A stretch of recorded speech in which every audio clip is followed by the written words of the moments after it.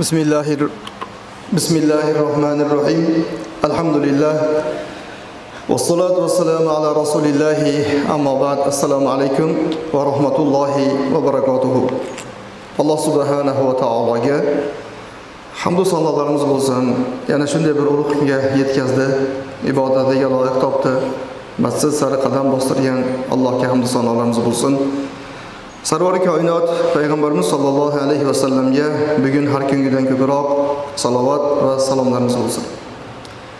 Bugungi suhbatimiz odamlarni orasida musulmonlarni orasida yo'qolib borayotgan musulmonni zaruriy sifatlaridan biri munofiqdan haqiqiy musulmonni ajratadigan bir belgi omonatdorlik haqida suhbatlashamiz. Darhaqiqat omonatdorlik insonlarni eng oliy fazilati musulmonlarni go'zal sifati bu. Musulmonni munofiqdan farqi omonatdorlikda bilinadi ko'proq. Lekin afsuski mana shu narsa hozir odamlarimiz orasida musulmonlarni orasida yo'qolib boryapti. Bugun suhbatimiz shu mavzuda ekan. Shoyatki suhbatimizni ta'sirida tushunib yetmayotganlar bo'lsa tushunib olsalar bilib xato qilayotganlar tuzatib olsalar bizni bugungi jumadan suhbatimizdan foydasi shu bo'lar edi. Omonat deganda ko'pchiligimiz tushungan narsa bu. Kimgadir birov pulni beradi sizda turib tursin keyinroq olaman deb. Shuni tushunganmiz. Haqiqatdan bu ham omonat. Lekin omonat kengroq ma'noda ishlatiladi. Bugun suhbatimiz shuni ham o'z ichiga oladi. Omonat qanday bo'ladi? Necha turli bo'ladi? Qanaqa omonatlar bor? Hozirgi aytganimiz ham bu omonat. Birov bir buyumni mablag' bo'ldi yoki boshqa nimadir narsani sizga berdi. Shu sizda turib tursin. Buncha muddatdan keyin qaytarib olaman desa o'sha haqiqatdan omonat.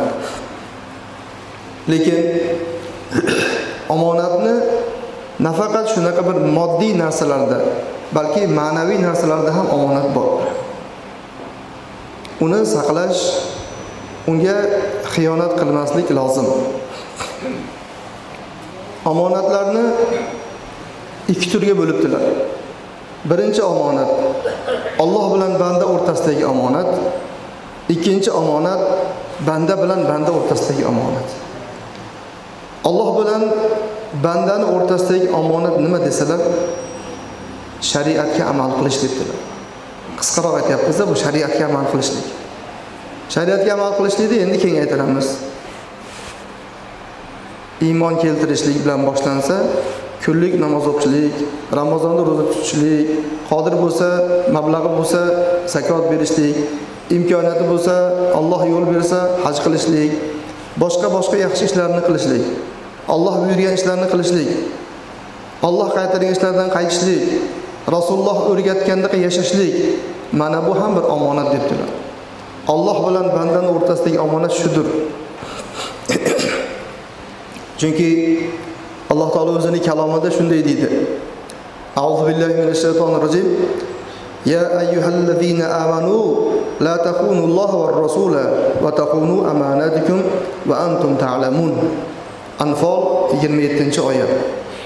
Ey iymon keltirganlar, siz bilan bizga aytilyapti. O boshqa dindagi yoki dinsizlarga emas. Bizmiz o'sha iymon keltirganlar. Demak bizga aytilyapti. Ey iymon keltirganlar, Allohga va Rasulga xiyonat qilmanglar. Ulamolar mana shu so'zni tafsiriga ularning buyruqlariga xiyonat qilmanglar deb tafsir qildilar. Allohga va Rasulga uning buyruqlariga xiyonat qilmang. Nimani buyurdilar? Allohdan qo'rqishlikni buyurdilar. Qo'rqaylik.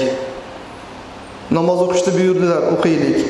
Ramazonda ro'za tutishni buyurdilar, tutaylik. Qodir bo'lsak haj, zakot amallarni bajaraylik. Mana shu demak ularga xiyonat qilmaslik. Yana oyatning davomida va bir biringizdagi omonatlaringizga ham bilib turib xiyonat qilmanglar dedi. shu bilan mana ikki turligi bilindi. Biri demak Allohga xiyonat, Rasulullohga xiyonat, bu ibodatlarni tark qilishlik. Alloh qaytarganlarni qo'rqmasdan qilishlik. ikkinchi xiyonat ikkinchi omonat bandalarni o'rtasidagi narsa bilgan holatda boshqa bir insonni narsasiga xiyonat qilmang omonatiga xiyonat qilmang dedilar ibn jarir tabariy rahmaulloh mana shu oyatni tafsirida abdulloh ibn abbosni so'zlarini keltiradilar. U kishi aytgan ekanlar oyati karimadagi allohga xiyonat qilish uni buyruqlarini bajarmaslik. O'sha tafsirda shunaqa aytilgan ekan. Rasulullohga xiyonat qilish esa sunnatlarni tark qilishlik hamda gunoh ishlarni qilishlik bu rasulullohga xiyonat debdir. Rasulullohni omonati din edi. Ollohdan qabul qilib oldi. Biz ummatga to'la yetkazdi. Biror masalada chala joyi yo'q. Shariat shunaqa mukammalki alloh taolodan rasululloh qanday qabul qilgan bo'lsa uni bizga yetkazdilar. Hattoki vidolashuv hajjida men sizlarga yetkazdimmi degan so'zlarni bir necha bor takrorlaganlar. Shu shariatni omonatni sizlarga topshirdim degan so'zni aytganlar. Biz u omonatni rasulullohdan olgan odamlarmiz. Allohga ibodat qilaman. Allohga iymon keltirdim. Namoz o'qiyman ro'za tutaman degan ma'noda biz musulmon bo'lganmiz. Bu bizga o'sha omonat edi. Allohni va rasulini omonati shu edi. Kim bunga qancha amal qilyapti yo amal qilmayapti? Omonatga demak xiyonat qilayotgan bo'ladi amal qilmayotgan bo'lsa vaholanki alloh taolo insonlarni maxluqotlari orasida mavjudotlar orasida eng ulug' eng mukarram qilib qo'ydi. Bani adam. Alloh aytadi biz odam farzandlarini eng mukarram qilib qo'yganmiz deydi. Haqiqatdan dunyoda insonni boshqaradigan narsa bormi? Inson dunyoni boshqaryapti. Boshqa narsa hammasi inson uchun xizmat qilyapti. Insonlarni o'zi yaratgan narsalari ham olloh yaratgan narsalar ham inson uchun xizmat qilyapti. Bu o'sha insonni olloh ulug' qilganligini bir belgisi deydilar. Bizni mana shu tirikligimiz ham omonat. Olloh bizga umrni berdi necha yil o'lchov bo'lsa shuni omonat qilib berdi. Endi mana shu omonat bizni qo'limizda turgan umrni ertaga qiyomatda hisobini beramiz. Balog'at yoshimizdan to vafot etgunimizga qadar allohga qancha xiyonat qildik. Ya'ni amrini buyrug'ini bajarmaslik xiyonat dedik. Rasulullohga qancha xiyonat qildik. Sunnatiga amal qilmaslik shariatiga ergashmaslik xiyonat dedik. Bular yuzaga chiqadi. Sakson yil yashab ollohni huzuriga borsak yuz yil yashab ollohni huzuriga borsak so'rov qilganda senga yuz yil umr berdim. Shu umr senga omonat edi. Hisobini so'raganda biz omonatga xiyonat qilgan bo'lib qolmasligimiz kerak. Bizga berilgan imkoniyatlar omonat sog'lig'imiz omonat. Kasal bo'lib qolmasdan turib sog'likda ham bir shukrini ado qilishlik kerak. Insonlarni oralaridagi bir birida bo'ladigan muomala munosabat omonat.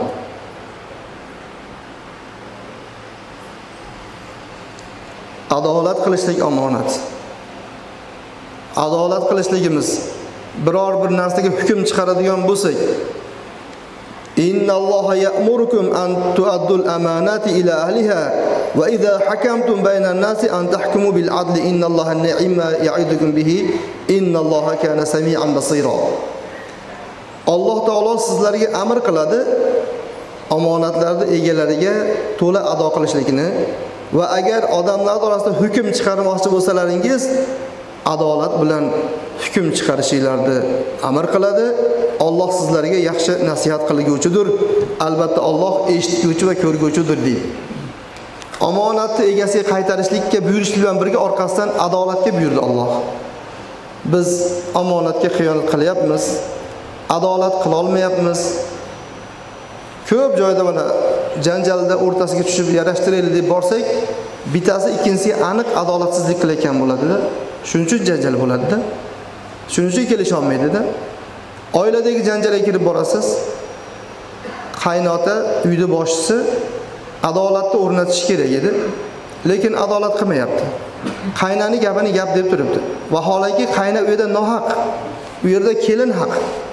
Shunaqa vaziyatlar bo'lyapti. Kelin haq qayna nohaq lekin haligi er yo o'sha xotindan qo'rqadi yo uni boshqarolmaydi boshqaruvni berib qo'ygan. Nimadir sabablar bilan u yerda adolat tiklayolmaydi shularga mana bu oyat. Avvalambor omonatni egalariga ado qilinglar va odamlarni o'rtasida hukm chiqarishlik sizlarga qolganda adolat bilan hukm chiqaring. Hech qachon nafsingiz bilan emas hech qachon kimnidir rioyasi bilan emas shariatni rioyasi.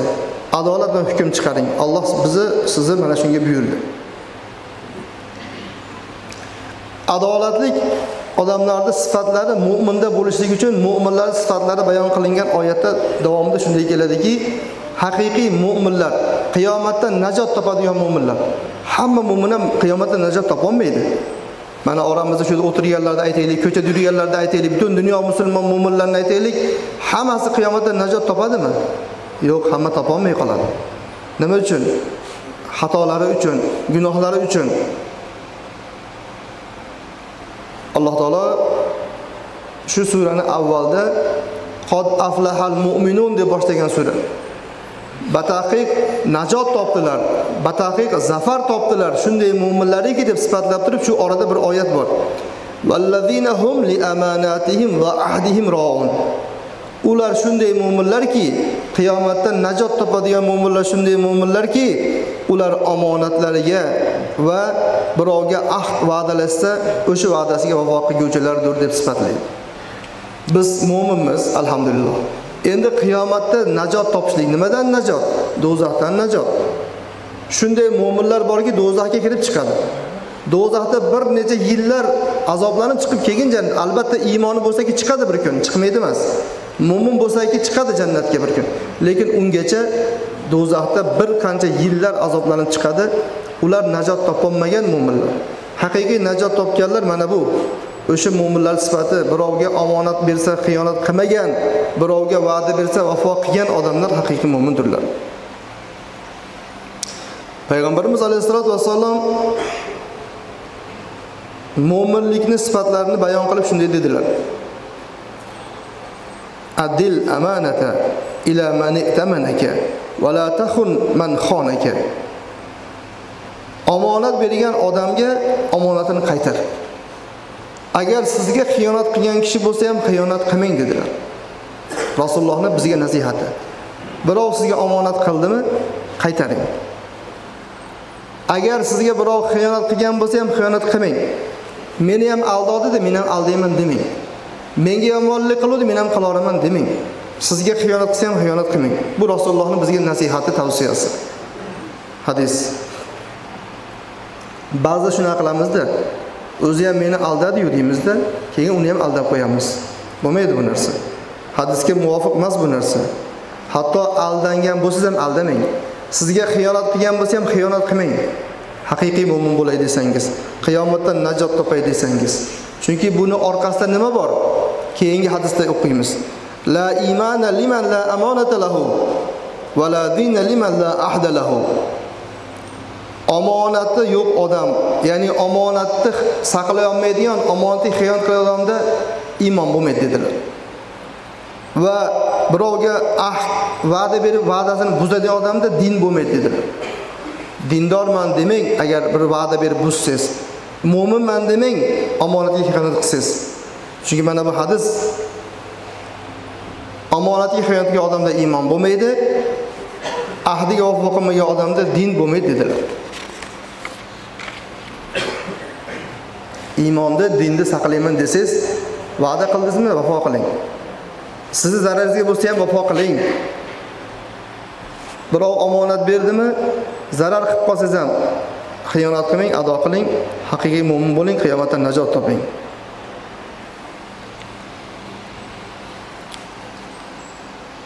omonatni yana bir ko'rinishini o'rgatdilar rasululloh sollallohu alayhi vasallam إذا حدث الرجل بالحديث ثم التفت fahiya amonatun. Agar dedilar rasululloh sallallohu alayhi vasallam bir kishi sizga bir gapni gapirayotib u yoqqa bu yoqqa qarab qo'ydi. Shunaqa bo'ladiyu. Bir sal birov eshitmasin deb gapirayotgan gaplarda siz gapiryapti sizdan boshqa eshitib qolmasin uchun haligi odam u yoqqa bu yoqqa bir alanglab qarab qo'yadi. Hech kim eshitib qolmayaptimikin shuni ko'rdingizmi? Demak bu gap omonat ekan biling dedilar. Sizga sekin pichirab aytyapti. Birov eshitib qolmasin deyaptimi?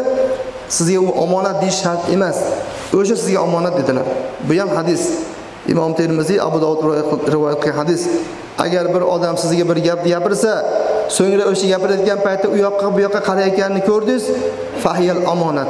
O'sha omonat dedilar. Uni boshqa yerda birovga aytishingiz mumkin emas dedilar. Bizchi biz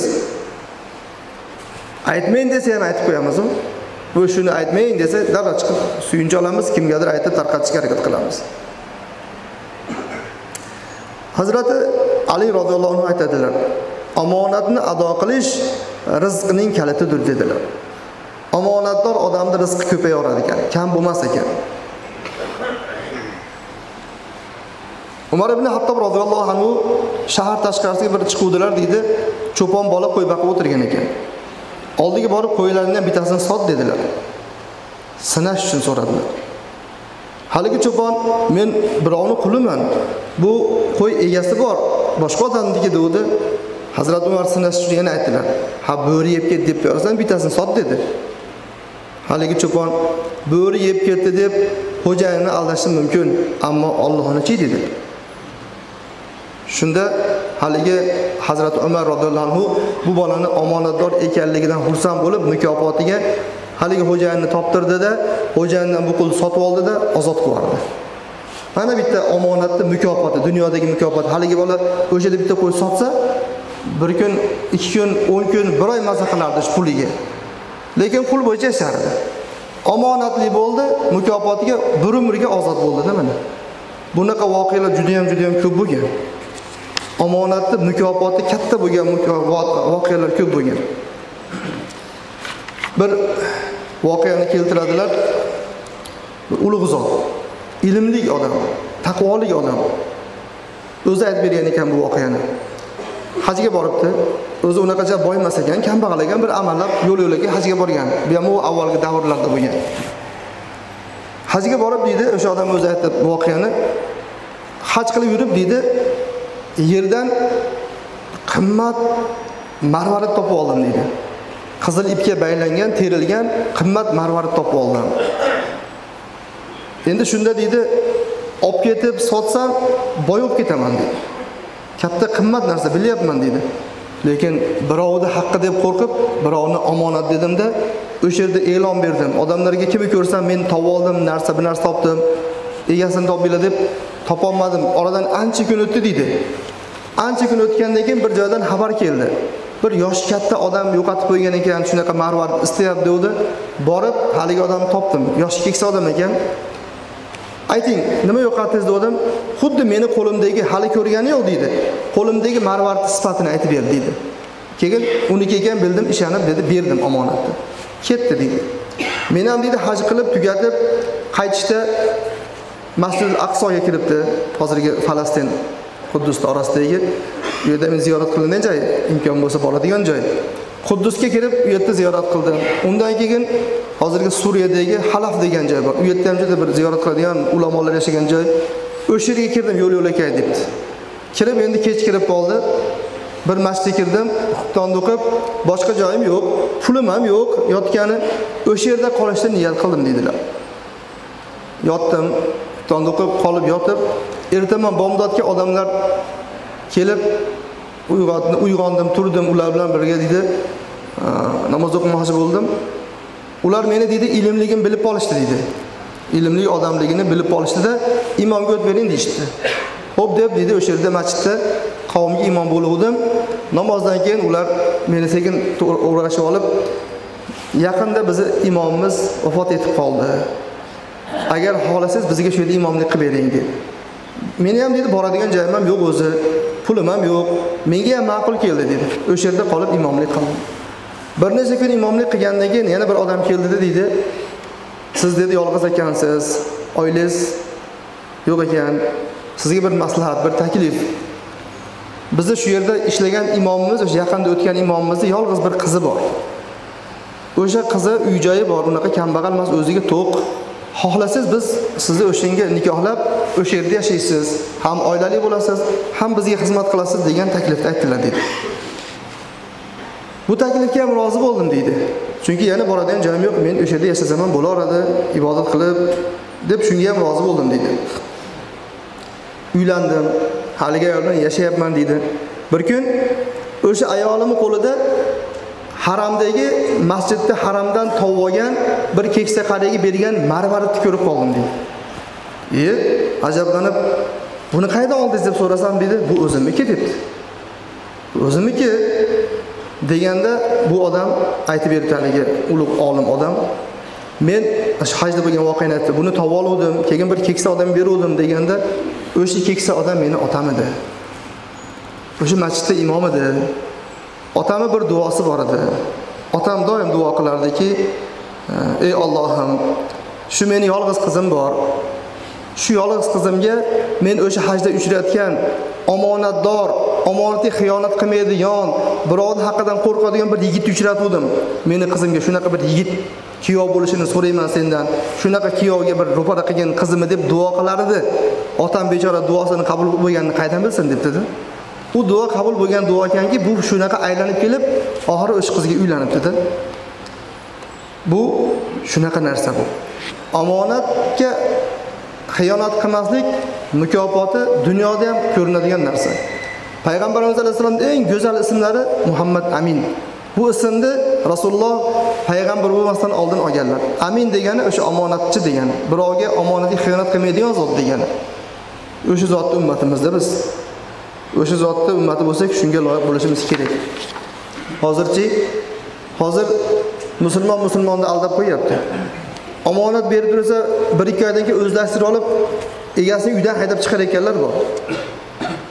Narsasini omonatga bergan o'zlashtirib olib keyin tanamayotganlar bor. Shular xudodan qo'rqish kerak. Mo'min bo'lib turib mo'minni aldab qo'ysa uni yolg'on gapirsa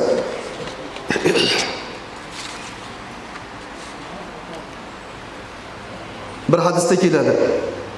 Do'zax ahli beshtadir deb bir nechta toifani sanab turib shuni ichida aytgan ekanki arzimagan bo'lsa ham o'zi yoqtirgan narsada xiyonat qilgan odam do'zax ahli degan ekan.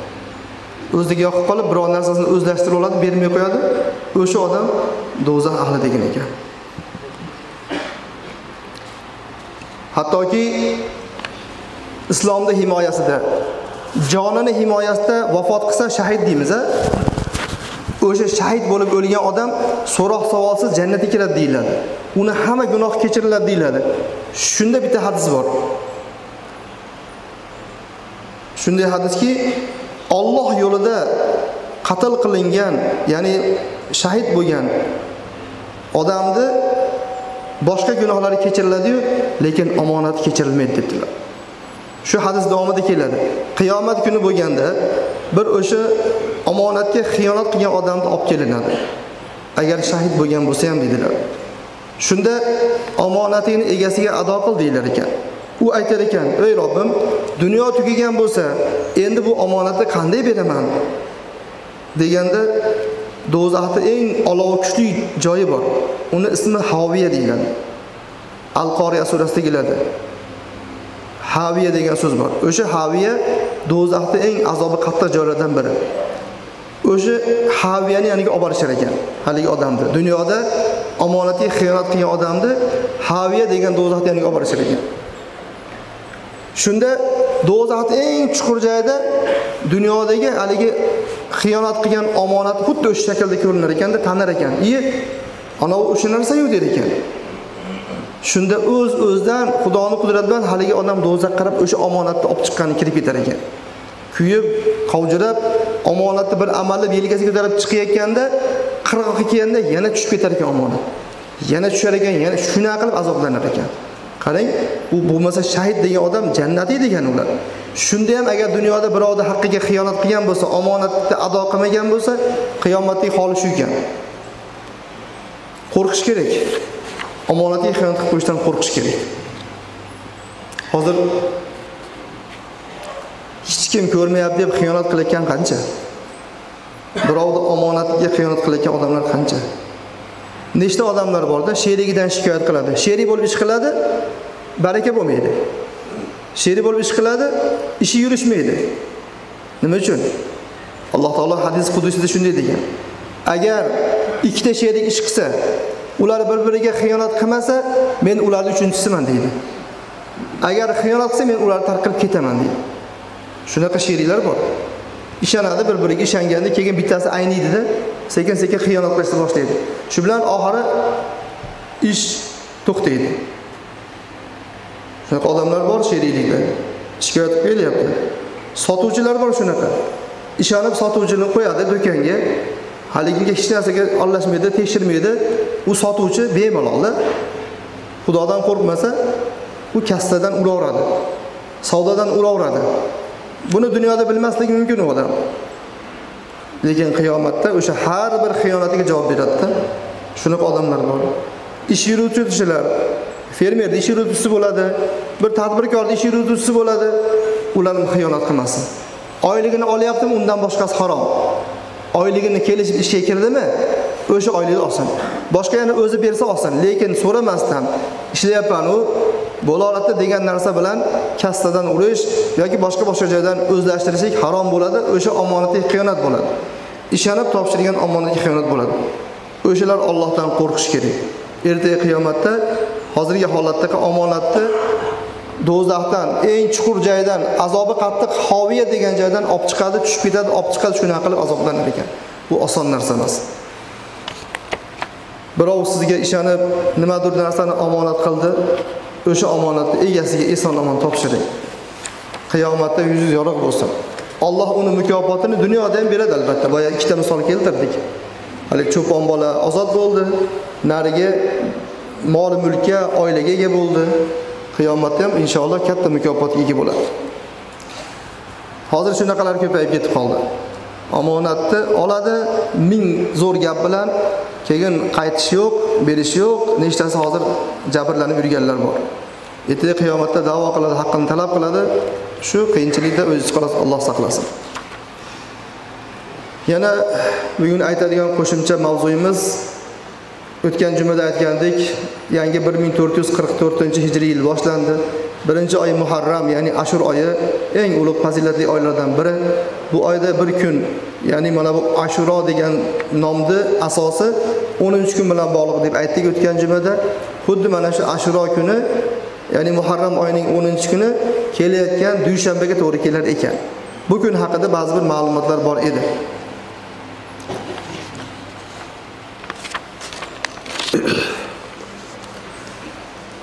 Ashuro kunining ro'zasi haqida allohdan umid qilamanki bir yil oldingi gunohlari kafforat bo'ladi deganlar rasululloh sollallohu alayhi vasallam. Agar imkon bo'lsa o'sha dushanba ro'za tutish kerak. Buni ulamolarimiz payg'ambarimizning boshqa bir hadislaridan xulosa qiladilar. Ya'ni rasulullohga bu yahudiylar tutadigan kunu deb aytishganlarida inshaalloh kelasi yili 9-kunni ham qo'shib tutamiz deganlar lekin u yilga bormasdan vafot etganlar rasululloh. Shundan xulosa qilib ulamolar o'sha ashuro kunini o'zida bir kun emas balki bir kun oldidan qo'shing. To'qqizinchi kuni ham ya'ni yakshanba kuni ham qo'shib tuting. Yoki u yoqdan yoki bu yoqdan qo'shib ikki kun qilib tutib qo'ysangiz yahudiylarga o'xshamaysiz degan tavsiyani berishadi ulamolar. Shunaqa ro'za tutadigan kun. Va o'sha kunda bir yana fazilat man vassaa ala ayolihi yawma ashura vassaallohu alayhi fi soiri sanatihi. Kim deydilar? Ahli oilasiga o'sha ashuro kunida oziq ovqat kiyim kechak boshqa narsalarda kengchilik qilib qo'ysa bekam ko'z qilib o'sha kuni to'ldirib qo'ysa ro'zg'orida yilni qolgan qismida kelasi yilgacha shunaqa kengchilikda yashaydi degan hadis bor. Buni ulamolardan imomi sufyon savriy rahimaulloh biz buni amaliyotda tajribadan o'tkazganmiz dedilar. Yana boshqa boshqa sahobalar ham sufyon ibn uyayna ham shunday dedilar. Biz 50 yil 60 yil bu narsani tajriba qildik haqiqatdan o'sha aytgandaqa topdik deganlar. Va hozirgi kunda ham bu narsa davom etyapti. Qancha qancha odamlar bunga amal qilib ixlos qilib o'tkazyapti o'sha kunni chiroyli qilib xuddi shunaqangi qiyinchilikka ega bo'lyapti. Mana kelayotgan demak e, dushanba kuni ashuro kuni. O'sha kunida bir yaxshiliklarni ko'proq qilishligimiz mana o'zimizni birinchi oilamizdan boshlashligimiz lozim bo'ladi. Ana o'shanda inshaalloh kelasi yilga ham shunaqangi bir chiroyli holatda oilamizda tinchlik xotirjamlik yaxshilikni yetish nasib etar ekan. Duo qilaylik amin. Alloh subhanahu va taolo tavfiq bersin. E, omonatga xiyonat qilsa o'zi asrasin. Ashuro kunini hammamizga chiroyli fayzli bo'lib barakotli qilib o'tkazishni nasib qilsin. Allohu akbar.